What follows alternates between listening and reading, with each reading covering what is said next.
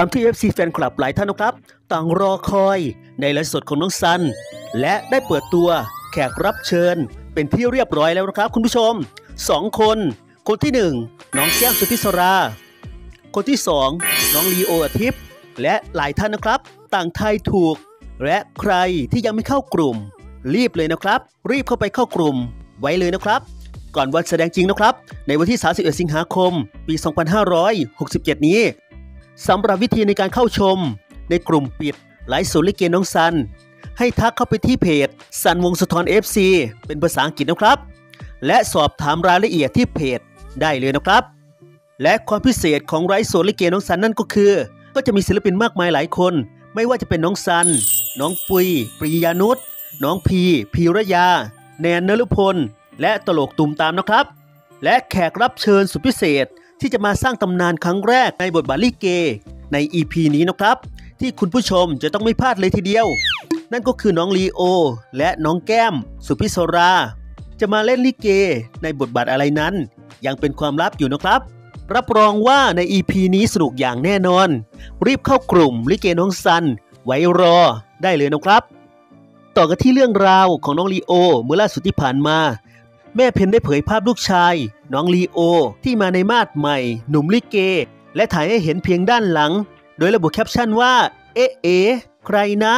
31 เจอกันที่ชัยนาทนะคะ แค่เห็นเพียงด้านหลังก็ทำเอา FC แฟนคลับต่างลุ้น ว่าน้องลีโอจะมารับบทอะไรในลิเกน้องสันในครั้งนี้ และก็มี FC แฟนคลับหลายท่านต่างเข้ามาชื่นชม ได้เห็นเพียงด้านหลังก็ยังหล่อขนาดนี้ หากได้เห็นด้านหน้าจะหล่อขนาดไหน แทบไม่อยากเชื่อสายตา ได้เห็นน้องลีโอในมาดใหม่ หนุ่มลิเกรูปหล่อ และถือว่าเป็นการเปิดประสบการณ์ใหม่ๆ ของน้องลีโอ และอยากรู้จริงๆนะครับคุณผู้ชม ว่าน้องลีโอจะมารับบทอะไร รวมทั้งน้องแก้มอีกด้วยนะครับ รีบเลยนะครับ สามารถเข้ากลุ่ม ลิเกน้องซันไว้รอได้เลย ราคาเพียง 99 บาท เข้าไปยังเพจจันวงศธร FC เท่านั้นนะครับ หากไม่อยากพลาด EP พิเศษ ในบทบาทใหม่ของน้องลีโอ และน้องแก้ม รีบเลยนะครับคุณผู้ชม และมาปิดท้ายกับภาพในงานไหว้ครู ให้คุณผู้ชมดูภาพคู่ของน้องไรอันและน้องรีโอ ไปฟังความไพเราะของน้องทั้งสองคน ได้ร้องใส่ระนาด และเป็นภาพที่อยู่ใน Facebook ของน้องลีโอไม่หมดนี้นะครับ ในวันที่ 19 ตุลาคม ปี 2023 เมื่อปีที่แล้วนะครับ โดยน้องลีโอระบุว่า เสียงสุรนาด พี่ชายน่ารักมาก ครองเสียงไปด้วย และนี่ก็คือภาพความน่ารักของสองหนุ่ม ไรอันและน้องดีโอ ที่มาในคีระนาด นางลอย นางลืม